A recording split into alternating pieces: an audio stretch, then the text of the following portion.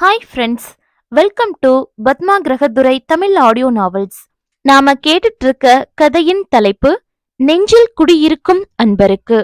ஆசிரியர் பத்மா கிரகதுரை நான் உங்கள் புவனா செல்வம். வாங்க கதைக்குள்ள போகலாம். நெஞ்சில் குடியிருக்கும் அன்பருக்கு சென்ற பதிவில் இதுவரை சுகாசினிக்கும் சர்வானந்துக்கும் இடையே பனிப்போர் தொடர்ந்தபடி இருந்தாலும் சர்வானந்த் அவளோடு ஒரு நட்பை ஏற்படுத்திக் கொள்ள முயல்கிறான். இந்த நிலையில் சர்வானந்த் வீட்டில் நடந்த வரலட்சுமி பூஜை சுகாசினியின் அந்தஸ்தை சுட்டிக்காட்டுவதாக இருக்க அவள் மிகுந்த கோபத்தில் இருக்கிறாள். சர்வானந்த் அவளுக்கு ரோஸ் குவர்ட்ஸ் பதித்த நகை ஒன்றை பரிசாக தருகிறான். இளஞ்சிவப்பு காதலர்கள் நிறம் என்கிறாள் பவித்ரா. அடுத்து நடக்கப் போவது என்ன? வாங்க இந்த வீடியோல பார்க்கலாம். அத்தியாயம் ஏழு. என்னடி உளற நிஜம்கா இந்த இளம் சிவப்பு நிறம் காதல குறிக்கிறது. வேலண்டைன்ஸ் டேக்கு இந்த மாதிரி நிற பரிசுகளை தான் காதலர்கள் பரிமாறிக்குவாங்க. சொல்லிவிட்டு கண்ணடித்தாள். சுகாசினியின் உள்ளங்கை வியர்க்க ஆரம்பித்தது.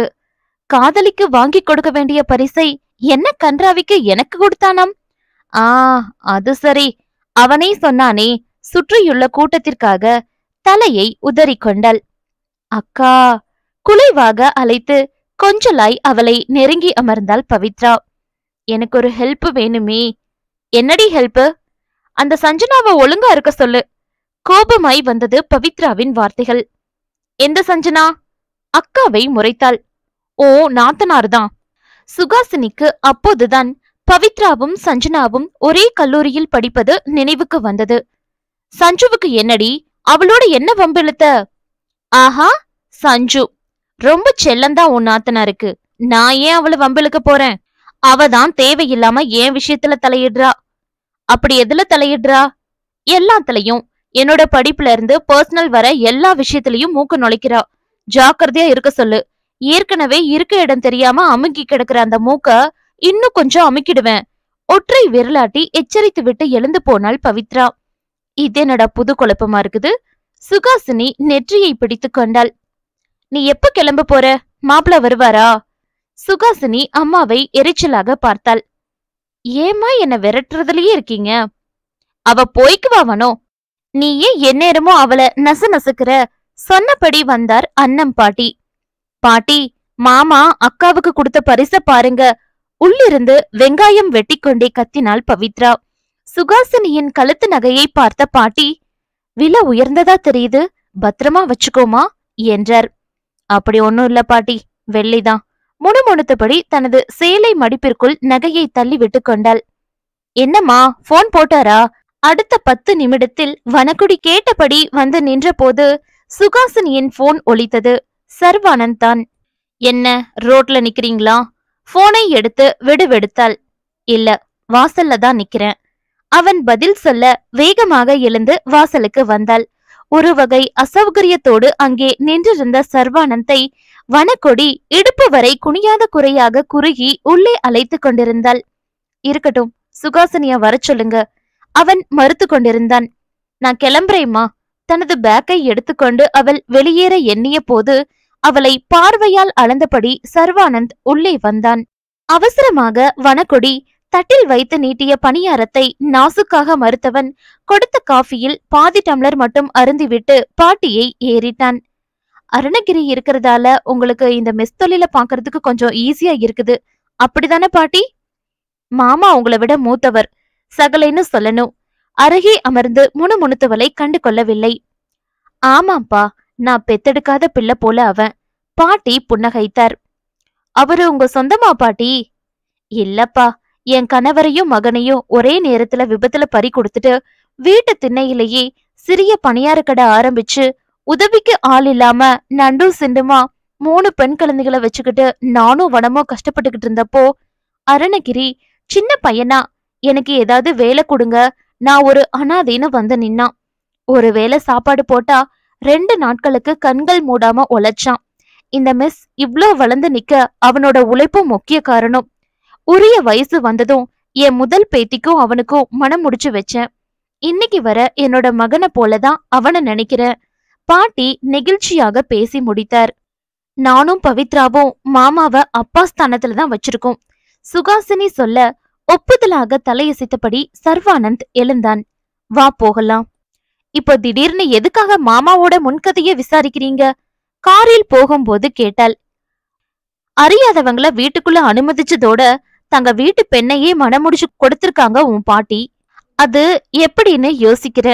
வந்த கோபத்தை அடக்கி கொண்டு உங்க அந்தஸ்துக்கு மாமா இணையா இல்லைன்ற வருத்தமா இருக்குதாக்கும். நாங்க ஜாதி அந்தஸ்து மதம் எதையும் பாக்குறதில்ல மனிதன் தான் எங்களுக்கு முக்கியம். வெடித்து விட்டு கார் கதவை டப்பென்ற ஓசையோடு அரைந்து சாத்திவிட்டு இறங்கி உள்ளே போனாள்.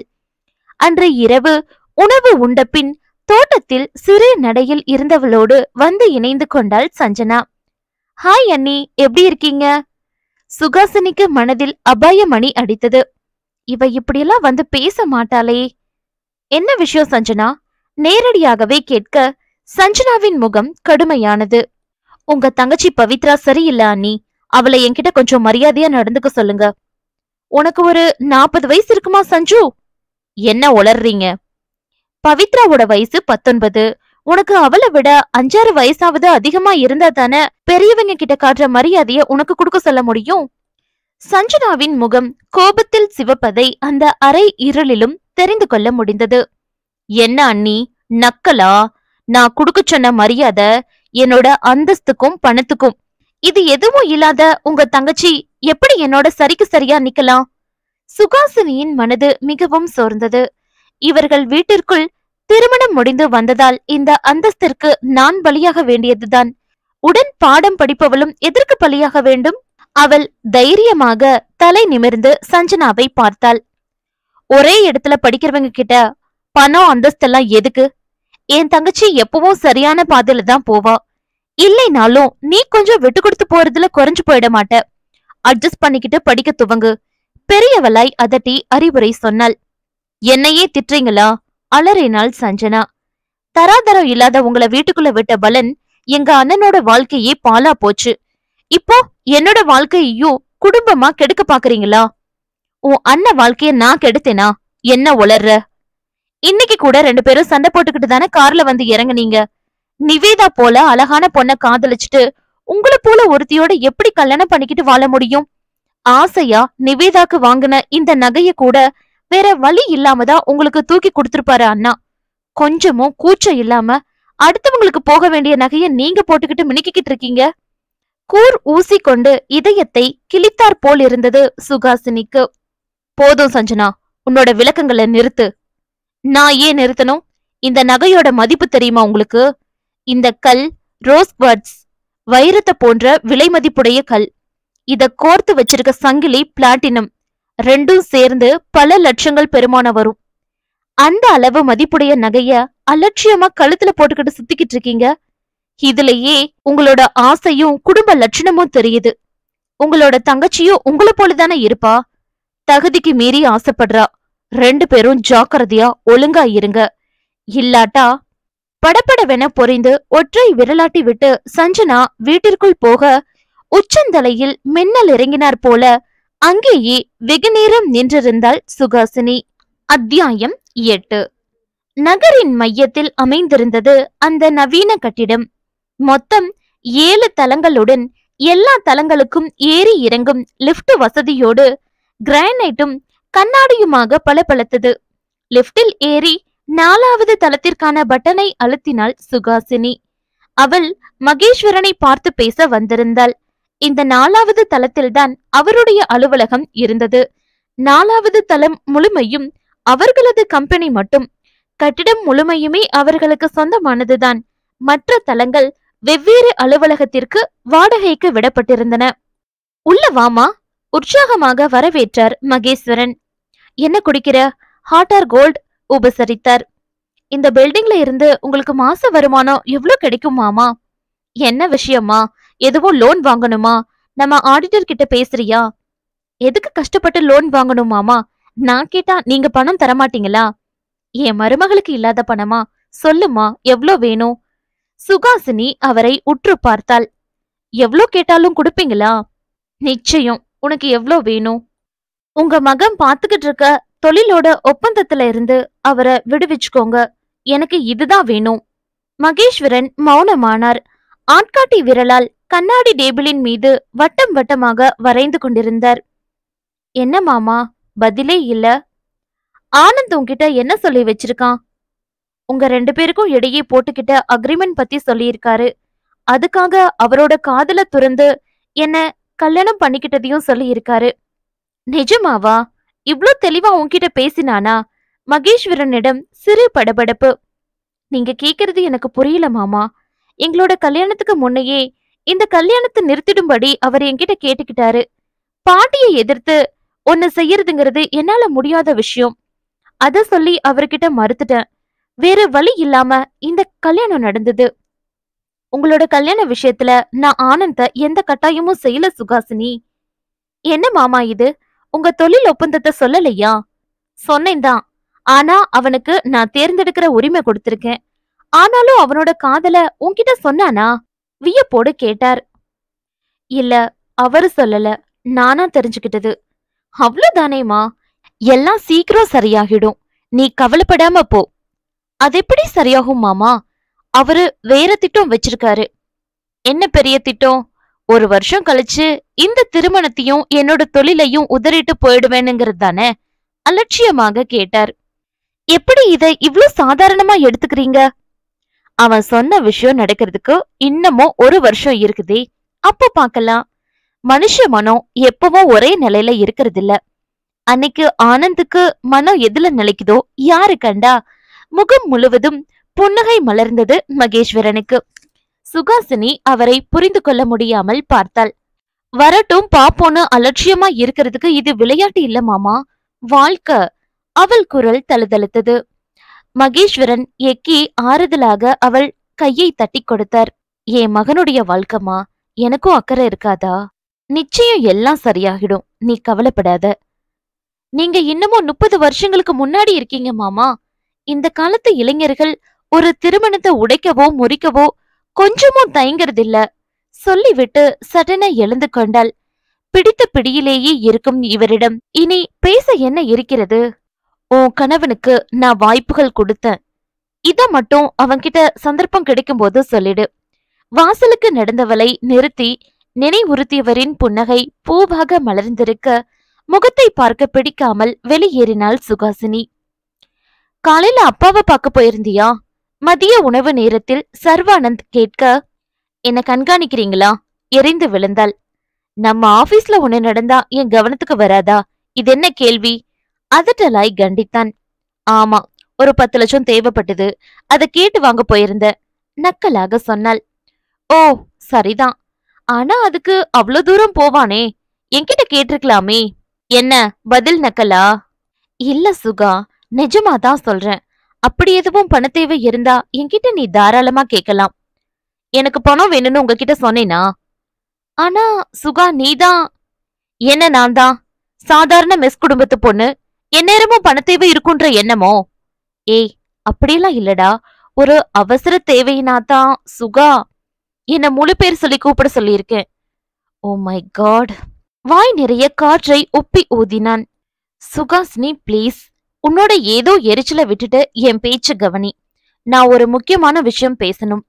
சுகாசினி உதட்டை மடித்து கடித்து ஒரு நிமிடம் அமைதியாக இருந்து தன்னை அடக்கிக் கொண்டாள். உன் அக்காவோட கணவர் அவர் எங்க மாமா. அவன் முடிக்கும் முன் சீறினாள். சரி சரி. ஓ மாமா. சில நாட்களா அவர அவரு எனக்கு கொஞ்சம் சந்தேகம் வரும்படி நடந்துக்கிறாரு. அப்படி என்ன செய்யறாரு ஒரு வாரமா நேச்சர்ஸ் யுவர்ஸ்ல அவரை பாக்குறேன். இயற்கை விவசாயத்துல விளைந்த காய்கறிகளை விற்கிற இடம் தானே நேச்சர்ஸ். எங்களோட மெஸ்ஸுக்கு தேவையான காய்கறிகளை எப்பவும் அங்கதான் வாங்குறது. அதனால மாமா அங்க வரதுல ஆச்சரியம் இல்லை. நீங்க அங்க போன காரணம் தான் எனக்கு தெரியல. நேச்சர்ஸ் யுவர்ஸ் நம்மளோட கடை தான் அது உனக்கு தெரியாதா? கேட்டவனிடம் விடை பெற துடித்த பொறுமை. சுகாசினி உதட்டை கடித்துக் கொண்டாள். இந்த விபரம் அவளுக்கு தெரியாது. நகரின் பல பகுதிகளில் மெல்ல மெல்ல கிளை விரித்துக் கொண்டிருக்கும் இயற்கை காய்கறிகள் பழங்களை விற்பனை செய்யும் அந்த அங்காடி இவர்களுடையதா?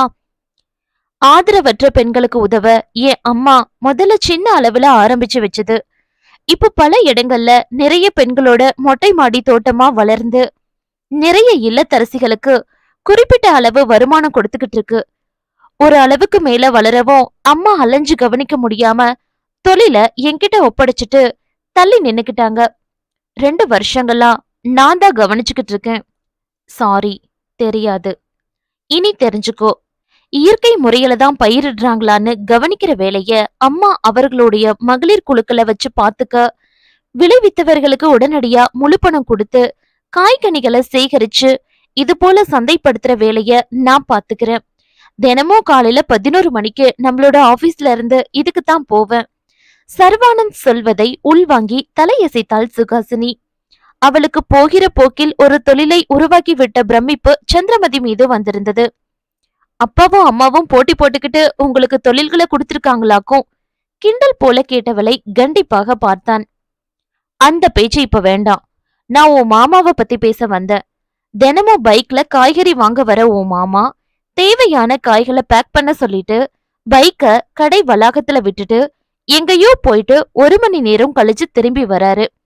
முதல்ல தற்செயலா பார்த்து பிறகு ஒரு வாரமா நான் கவனிச்சு குழம்பிக்கிட்டு இருக்கேன். மிஸ் சம்பந்தமா வேற ஏதாவது வேலை இருந்திருக்கும். நானும் முதல்ல அப்படிதான் நினைச்சேன். ஆனா பைக்க நிறுத்திட்டு சைக்கிள்ல போகும்படி அப்படி என்ன வேலை? என்ன? சைக்கிள்ல போறாரா? ஆமா பைக்க நம்ம கடை பார்க்கிங்ல நிறுத்திட்டு கடைக்கு பின்புறம் உள்ள சைக்கிள் ஸ்டாண்டுல வாடகைக்கு சைக்கிள் எடுத்துக்கிட்டு எங்கேயோ போறாரு. ஒரு நாள் சைக்கிள்ல வந்து அவர் இறங்குறத கடையோட மாடியில இருந்து பார்த்தேன். பிறகு அடுத்த நாளும் பார்த்தேன். தொடர்ந்து பார்க்கறேன். குழப்பத்தோட இருக்கேன். இத யார்கிட்ட சொல்லணும்னு தெரியல. அதனாலதான் உன்கிட்ட கையை அவள் பக்கம் நீட்டி சைகை காட்டி முடித்தான். சுகாசினி சிறு அதிர்ச்சியோடு அமர்ந்திருந்தாள். அருணகிரியிடம் ஒரு தப்பு என்பது அவளால் கனவிலும் நினைக்க முடியாதது. ஆனா இதென்ன? இந்த மாதிரி செயல்கள். என் மாமாவை என்னால தப்பா நினைக்க முடியாது. குரலை உயர்த்தி தைரியமாக சொன்னாள். நாளைக்கு நீயே என்னோட வா. நாம நேரடியா பார்க்கலாம். முடித்தான் சர்வானந்த். மறுநாள் நேச்சர்ஸ் யுவஸின் மாடி அலுவலக அறையில் இருந்தபடி அருணகிரி பின்னால் இருந்த சைக்கிள் ஸ்டாண்டில் சைக்கிள் வாடகைக்கு எடுப்பதை காட்டினான். கடையின் பின்னிருந்த குறுகலான தெரு ஒன்றிற்குள் அருணகிரி சைக்கிளில் சென்று கொண்டிருப்பதை இவர்களால் பார்க்க முடிந்தது. அத்தியாயம் ஒன்பது. வாங்க நாம போகலாம். சுகாசினி சொல்ல சர்வானந்த் வியந்தான். அவரை ஃபாலோ செய்யறோமா ஆமா எனக்கு மாமா ஏதோ சிக்கல்ல இருக்கிறது போல தெரியுது. அத நாம தெரிஞ்சுக்கணும். அதுதான் பணம் வேணுமான்னு கேட்டேன். முணுமுணுத்தான். ஏன்? எங்களுக்கெல்லாம் பிரச்சனைனா அது பணமா தான் இருக்குமோ? அம்மா தாயி திரும்ப ஆரம்பிக்காத. வா போகலாம். எங்க போறாருன்னு தெரிஞ்சுக்கத்தான். இத நான் அவர் மேல சந்தேகப்பட்டு சொல்லல. பிறருக்கு இருக்க சந்தேகத்தை இல்லாம செய்ய நினைக்கிறேன். அப்பா இம்மையும் விட்டு கொடுத்துடாத. சர்வானந்த் தோள்களை குலுக்கியபடி கிளம்பினான். அட எப்படி போறது? என்னோட கார் இந்த தெருவுக்குள்ள போகாது போலவே. குறுகலான அந்த தெருவை பார்த்து சர்வானந்த் கவலையோடு நின்று கொண்டிருக்கும் போதே சுகாசினி சைக்கிள் ஸ்டாண்டில் தனக்கென ஒரு சைக்கிளை வாடகைக்கு எடுத்துக்கொண்டாள் வாங்க நீங்களும் உன்னை எடுத்துக்கோங்க. என்ன? சைக்கிள்லையா? ஏன்? ஓட்ட தெரியாதா? கிண்டலாக கேட்டபடி சுகாசினி தனது சைக்கிளில் ஏறி மிதிக்க ஆரம்பித்து விட சர்வானந்தும் வேறு வழியின்றி ஒரு சைக்கிளை எடுத்தான். மாமாவை காணோமே. அந்த சந்திற்குள் வேகமாக சைக்கிளை மிதித்து இரண்டு திருப்பங்கள் திரும்பிய பிறகும் அருணகிரியை காணாமல் நின்றாள் சுகாசினி. பின்னால் திரும்பி பார்த்தவளுக்கு சிரிப்பு வந்தது. லேசான நடுக்கத்தோடு சிரமப்பட்டு சைக்கிள் மிதித்து தடுமாறி வந்து கொண்டிருந்தான் சர்வானந்த். ஓஹோ உண்மையாவே உங்களுக்கு சைக்கிள் ஓட்ட தெரியாதா? கிண்டலை தோரணங்களாக்கி எறிந்தாள். அவன் முறைத்தான். சைக்கிளா இது? கட்ட வண்டி மாதிரி இருக்கு. இதை எப்படி ஓட்டுறது? அட உங்களுக்கு கட்ட வண்டி ஓட்டி பழக்கமா? கிண்டல் செய்யறத விட்டுட்டு உன் மாமாவை தேடு. சர்வானந்தின் கைகளில் ஹேண்ட்பார் கிடுகிடுவென நடுங்குவதை பார்த்தபடி மந்தகாசமாய் புன்னகைத்து பேச்ச மாத்துறீங்க. என்றபடி இன்னும் ரெண்டு சந்து திரும்பி போய் பார்த்தும் சுகாசினியால் அருணகிரியை பிடிக்க முடியவில்லை. மூச்சிறைக்க பின்னால் வந்து நின்ற சர்வானந்த் சரி வா போகலாம் என்றான். அதெப்படி மாமாவை பார்க்காம போறது? நாளைக்கு பாத்துக்கலாம் வா சுகா. என்னால இதுக்கு மேல இந்த சைக்கிளை ஓட்ட முடியாது. அவனை முறைத்தபடி திரும்பி வந்து சைக்கிளை விட்டவள் நாளைக்கு நீங்க கிடையாது. நான் மட்டும்தான் உறுதியாக சொன்னாள். அத நாளைக்கு பார்க்கலாம். சைக்கிளுக்குரிய பணத்தை கொடுத்து விட்டு காரை எடுத்தான். மறுநாள் அதே நேரத்திற்கு காரை கடையின் பின் நிறுத்தியதும் இறங்கி சைக்கிள் ஸ்டாண்ட் அருகில் போனவளின் முன் ஒரு அழகான சைக்கிள் வந்து நின்றது. ஒரு காலை தரையில் ஊன்றியபடி ஸ்டைலாக அதன் மேல் இருந்தவன் சர்வானந்த். சைக்கிள் ஓட்ட தெரியாத நீயே இப்போ என்னோட வந்து பாரு எப்படி ஓட்டுறேன்னு தெரியும். இது யாரோட சைக்கிள்? என்னோடதுதான் நான் ஸ்கூலுக்கு இந்த சைக்கிள்ல தான் போனேன். கியர் பொருத்தப்பட்டு மிக உயர்தரமாக்கும் நான் என்றது அந்த சைக்கிள். வீட்ல இருந்து நேத்து இரவே இதை இங்க கொண்டு வந்து வைக்க சொல்லிட்டேன். வா போகலாம். அவன் சைக்கிளில் முன்புறத்தை தட்டி காட்ட திகைத்தாள். நான் ஒரு சைக்கிள் எடுத்துக்கிறேன். நீங்க முன்னால போங்க. இல்ல உன் மாமாவை தொடர்றதுக்கு ரெண்டு பேரும் ஒண்ணு போல போகணும். நேத்து போல தவற விட்டுடக்கூடாது. என்னோடையே வா. மாமாவை தவற விடக்கூடாது என்ற எண்ணத்தில் மனதில் கொண்டு அவனோடு சைக்கிளில் முன்பக்கம் ஏறிக்கொண்டாள். அவளோடு அந்த கடை வளாகத்தை ஒரு ரவுண்ட் அடிக்க ஆரம்பித்தவனின் வாயில் மெலிதான சீல்கை ஒளி என்ன இது? ரவுடி போல ஆட்சேபித்தாள். திரும்பவும் பள்ளி மாணவன் ஆனது போல ஒரு ஃபீலிங் நான் கொஞ்சம் சந்தோஷமா இருந்தா உனக்கு பொறுக்காதே. குழந்தை போல முகம் தூக்கி வைத்துக் கொண்டவனை பார்த்து வந்த சிரிப்பை அடக்கிக் கொண்டாள். இரண்டு நிமிடங்களில் அந்த சைக்கிள் ஸ்டாண்டுக்கு வந்த அருணகிரி ஒரு சைக்கிளை எடுத்துக்கொண்டு போவதை மறைந்து நின்று பார்த்தவர்கள் அவனை தவற விடாமல் பின்தொடர்ந்தனர். பெடலை மிதிக்கும் போது ஏறி இறங்கிய சர்வானந்தின் கால்கள் சுகாசினியின் உடம்போடு உராய்ந்து அவளை சங்கடப்படுத்தின. சர் சர்ரென ஒரு வகை மின் சக்தி அவள் உடலில் ஒவ்வொரு ஸ்பரிசத்திற்கும் பாய்ந்தபடி இருந்தது. உச்சந்தலையை தொட்ட அவனது சூடான மூச்சுக்காற்று வெது வெது அடுப்பை நினைவுறுத்த இதமான சுடுநீர் தொட்டிக்குள் அமிழ்ந்தார் போல தன்னை உணர்ந்தாள். எங்க இவ்ளோ நேரமா போய்கிட்டு இருக்காரு அவளை எறியாமல் குரல் சினுங்கி கிசுகிசுத்தது. அவள் பேச்சை கேட்பதற்காக சற்றே குனிந்தவனின் மூச்சுக்காற்று இப்போது அவள் கழுத்தடியை சுட்டது. தெரியலையே சுகா அத பார்க்கத்தானே போய்கிட்டு இருக்கோம் தோளில் தலை சாய்த்து கொள்வானோ என ஓர் பதட்டம் அவளுள். பேசாம இந்த தேடல் தேவையில்லைன்னு திரும்பிடலாமா? அவள் யோசித்துக் கொண்டிருந்த போது கொஞ்சம் பெரிதாக தெரிந்த ஒரு வீட்டின் முன்னால் அடர்ந்திருந்த புங்கை மரத்தடியில் சைக்கிளை நிறுத்தி இறங்கினான் அருணகிரி. அந்த வீட்டை விட்டு தள்ளி நின்று அவனை கவனித்தனர். காம்பவுண்ட் சுவரின் மேல் கால் வைத்து தொங்கி நின்று உள்ளே எட்டி பார்த்து கொண்டிருந்தவனை ஆச்சரியமாக பார்த்தாள் சுகாசினி. என்ன மாமா இப்படியெல்லாம் செய்யறாரு கேட்டபடி திரும்பி பார்த்தவள் சர்வானந்தை முறைத்தாள். அவன் அவளை மிக ஒட்டி நின்று ஆராய்ந்து கொண்டிருந்தான். இது கடன் கொடுத்தவரோட வீடா இருக்குமோ? தன் கருத்தை சொன்னபடி கண்களால் அவளை அப்பினான். அவனது கண்கள் போன இடத்திற்கு சினம் கொண்டு அவனை முறைத்தபடி எப்பவும் பணம் பத்தின பேச்சுதானா? என்றவளின் கழுத்தடியை ஆட்காட்டி விரல் நீட்டி தொட்டான். எங்க சுகா? நான் வாங்கி கொடுத்த செயின். கலட்டி வச்சிட்டேன். உணர்வாய் வந்தது அவள் குரல். ஏன்? அது ரொம்பவும் விலை மதிப்புள்ளதுன்னு தெரிய வந்துச்சு. அதனால கலட்டி வச்சிட்டேன். அப்படி யார் சொன்னது? ஏன் எனக்கே தெரியாதா? ஓ இது போல நகைகளோட மதிப்பெல்லாம் எனக்கு தெரியாது தானே? ஓ வெட்டி விவாதத்துக்கு இப்ப நான் தயார் இல்ல. அம்மா இருக்காது. சஞ்சனாவா செயின் பத்தி சொன்னா? என்ன சொன்னா? அதோட விலைய சொன்னாலா நானும் என் வீட்டினரோனா பணப்பேச்சு தானா உங்களுக்கு? உனக்கு புரியல சுகாசினி? புரிய வேணாம்.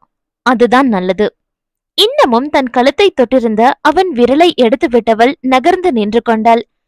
புரியாமலேயே அவளை பார்த்து நின்றவன் லேசாக விழிகளை நகர்த்த தென்பட்ட காட்சியில் பரபரத்தான். சுகாசினி அங்க பாரு. அருணகிரியை ரெண்டு பேர் நெருங்கி ஏதோ கேட்க அவன் ஏதோ பதில் சொல்ல சட்டென அவர்களில் ஒருவன் கையை வீசி அருணகிரியின் கன்னத்தில் இறக்கினான். உடனே மற்றவன் அவன் கையை பிடித்து முறுக்க சுகாசினி தன் கன்னங்களில் கை பதித்து கத்தினாள். ஐயோ ஆனந்த் சீக்கிரம் போங்க. அதற்குள் விரைவான ஓட்டத்தில் அவர்களை நெருங்கி இருந்தான் சர்வானந்த். இரண்டே நிமிடங்களில் இருவருமாக சேர்ந்து அவர்கள் இருவரை சமாளித்து பிடித்து தள்ள அவர்கள் அந்த வீட்டிற்குள் நுழைந்து ஓடினர். உள்ள போய் இன்னும் ஆட்களை கூட்டிட்டு வரதுக்குள்ள நம்ம வேகமா இங்கிருந்து போயிடலாம். சர்வானந்த் தனது சைக்கிளை திருப்ப அருணகிரியும் சைக்கிளில் ஏறி அழுத்தினான். அரை மணி நேரம் கழித்து மூவரும் ஒரு காஃபி ஷாப்பில் அமர்ந்திருந்தனர். சொல்லுங்க. சர்வானந்த் அருணகிரியை பார்க்க அவன் நிறையவே தயங்கினான். நெற்றியை துடைத்து கொண்டான். நான் பாத்துக்கிறேன் தம்பி ஒரு சின்ன பிசகு. அத நானே தான் சரி செய்யணும். என்ன மாமா இது? கை நீட்டி அடிக்கிற அளவு ரவுடித்தனமா இருக்கிறாங்க. நீங்களும் தான் எதுக்காக அடுத்தவர் வீட்டுக்குள்ள போய் எட்டி பார்க்க நினைக்கிறீங்க? அது கொஞ்சம் பர்சனல் இப்போ பேச வேண்டாமே. அருணகிரி சொல்ல சர்வானந்த் சடக்கென்று எழுந்து கொண்டான். அவருடைய பர்சனல்ல நமக்கு பங்கில்ல சுகாசினி வா போகலாம். அவள் கையை பிடித்து இழுத்துக்கொண்டு வெளியேறினான். ஏன் அப்படி செஞ்சீங்க? இன்னும் கொஞ்சம் பேசி பார்த்திருக்கலாம். வீட்ல தன்னிடம் எரிமலையாக பொங்கியவளை அலட்சியமாக பார்த்தான். ஓ மாமா எவ்ளோ கேட்டாலும் விஷயத்த சொல்ல போறது இல்ல. நாமளே தான் கண்டுபிடிக்கணும். ஏ மாமா தப்பு செய்ய மாட்டாரு? இனி அவரை பின்தொடர வேண்டாம். உத்தரவு போல சொன்னாள். சரி அப்படியே இருக்கட்டும். ஆனாலும் மேல கை வைக்கிற அளவுக்கு வெறித்தனத்தோட சுத்திக்கிட்டு இருக்கவங்க கிட்ட இருந்து அவரை காப்பாத்த வேணும் இல்லையா? சுகாசினி குழப்பத்தோடு ஆமோதிப்பாய் தலையசித்தாள். மறுநாள் சுகாசினி வீட்டிற்கு சென்ற போதும் இவள் பக்கமே திரும்பாமல் இருந்து கொண்டான் அருணகிரி. என்ன ஓ மாமா கிட்ட விவரங்கள் வாங்கி ஆயிற்றா? கிண்டலாக கேட்டவனை எரிச்சலாக பார்த்தாள். எனது தோல்வியில அவ்வளோ உற்சாகமா உங்களுக்கு? தோல்வின்னு தெரிஞ்சே கழுத்துல இறங்குறவள என்ன செய்ய? உன்னால முடியாது சுகா. ஓ மாமா அழுத்தக்காரர். எந்த விவரமும் சொல்ல மாட்டாரு. அதெல்லாம் நான் பாத்துக்குவேன். சொன்னாலே தவிர சுகாசினியால் ஒன்றுமே முடியவில்லை. வெளியில நீங்க ஏதாவது விசாரிச்சீங்களா? கேட்டவளை பரிதாப பார்வை பார்த்தான் சர்வானந்த். வேண்டா சுகாசினி. உன் மாமா மேல அதிக நம்பிக்கை வைக்காத. நான் விசாரிச்ச தகவல்கள் அவ்வளவு நம்பிக்கைக்குரியவை இல்ல. என்னோட நம்பிக்கை எப்பவோ சரிதான். நீங்க சொல்லுங்க. அந்த வீட்டை பத்தி கொஞ்சம் விசாரிச்சேன். அது அமெரிக்கால போய் செட்டில் ஆகிட்ட ஒரு வசதி படைத்தவரோட வீடு. இங்க அவரு வருஷத்துக்கு ஒரு முறை வரும்போது தங்க தயாரா இருக்கணுங்கறக்காக ரெண்டு வேலையாட்களை போட்டு வீட்டை பராமரிச்சுக்கிட்டு வராங்க. அந்த வேலையாட்கள் வீட்டை வாடகைக்கு விடுறதா கேள்விப்பட்டேன். அது எப்படி விட முடியும்? திடீர்னு உரிமையாளர் வந்துட்டா மாட்டிக்குவாங்களே சர்வானந்த் அவள் அருகே அமர்ந்து கையை பிடித்து கொண்டான். மாத வாடகைக்கு இல்ல சுகா. அன்னன்னைக்கு கேக்குறவங்களுக்கு நான்கு மணி நேரம் ஐந்து மணி நேரங்களுக்கு மட்டும். புரியுதா? அப்படி சில மணி நேரங்களுக்கு மட்டும் யாரு வாடகைக்கு பிடிப்பாங்க? சில தப்பான காரியங்களுக்கு வந்து பெண்களை சிறிது நேரம் கூட்டிக்கிட்டு வர்றவங்க கேக்குற வாடகைய கொடுத்து பிடிப்பாங்க. இறுகிய முகத்தோடு சர்வானந்த் சொல்ல அதிர்ந்தாள் சுகாசினி. மீண்டும் அடுத்த பதிவில் சந்திக்கலாம். நன்றி.